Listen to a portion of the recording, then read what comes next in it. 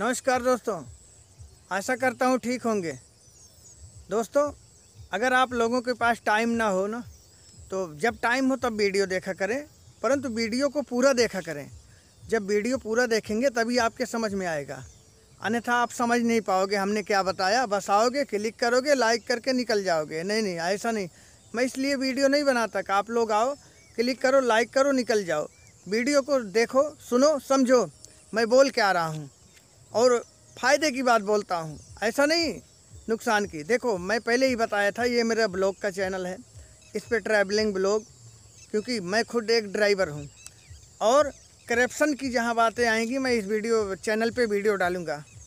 जहाँ भी करप्शन की बात आएगी, इस चैनल पर वीडियो में डालूँगा। तो इसके लिए दोस्तों वीडियो को पूरा देखा करें ध्यान से।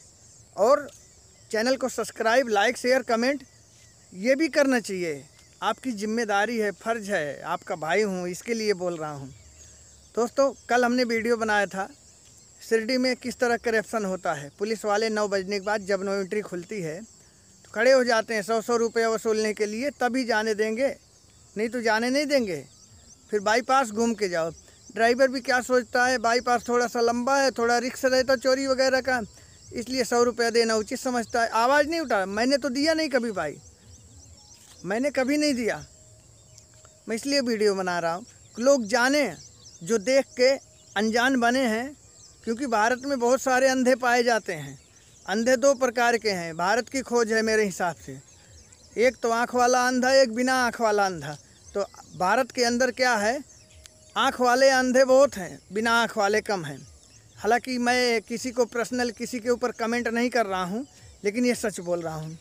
तो दोस्तों, यही हाल है राजस्थान का। जो भी ड्राइवर भाई उधर जाते हैं, ड्राइवर भाई क्या सभी जो भी उधर आने जाने वाले हैं, वहाँ के रहने वाले लोग हैं, उनको मालूम है एक ज़िले में कितना आरटीओ खड़ा होता है। आए सौ रुपये, दो सौ, तीन सौ एंट्री है आरटीओ की। दो निकलो, गाड़ी भगा दिए थोड़ा सा गलती कर दिए तो जूता भी खाओ, मारेंगे, चालान भी काटेंगे। तो ये सब बातें हैं दोस्तों। इसके लिए मैं वीडियो डाल रहा था। आखिर में करप्शन के लिए जिम्मेदार कौन है? हम आप हैं ना? इस देश की जनता है। यार हम लोग जब एकजुट होंगे नहीं, क्या मिल रहा? बताओ। करप्शन से थोड़ा बहुत फ़ायदा तो हो जाता है हम सबका, लेकिन नुकसान कितना ये कभी आपने सोचा? यही समस्या है। सारी समस्या का जड़ यही है। हम लोग ये नहीं सोचते, बस थोड़ा सा मेरा फ़ायदा हो गया, बस। हम समझ लेते हैं कि हम तो फ़ायदे में हैं। नहीं नहीं, इससे देश बर्बाद हो रहा। हम आप बर्बाद हो रहे हैं, आने वाली हमारी आपकी पीढ़ी बर्बाद हो रही। इसलिए दोस्तों करप्शन की जहाँ बात आए, एक साथ खड़े हो जाओ। ईमानदारी से कमाना खाना सीखो। हमेशा सुखी रहोगे। मैं इसलिए वीडियो बना रहा था। और दूसरी बात दोस्तों, राजस्थान की जो कह रहा हूँ, अब बताइए, यहाँ जिम्मेदार कौन है? ये सरकारी जो कर्मचारी हैं, जो ये करप्शन करते हैं इनकी पचास हज़ार, एक लाख सैलरी होती है, फिर भी इनका पेट नहीं भरता। ऐसा सोचना है पब्लिक का। ऐसा नहीं है, पेट सबका भरता है। भैया, दिहाड़ी जो मजदूरी करता है, उसका भी पेट भर रहा है। ठीक है ना? ये क्या है? इनको मोहरा बनाया जाता है, एक ज़रिया। इनके पीछे बहुत बड़ा गैंग होता है, और भी लोग होते हैं। वो इनसे करप्शन करवाते हैं, वसूली करवाते हैं। वो पैसा वसूलवाते हैं इनसे तो इसमें तो भाई ये भी कमाएँगे। और दबाव भी रहता है। जो इनके पीछे हैं, कोई इनके पीछे पावर होती है ना, बताइए क्या सरकारों को नहीं दिखाई देता?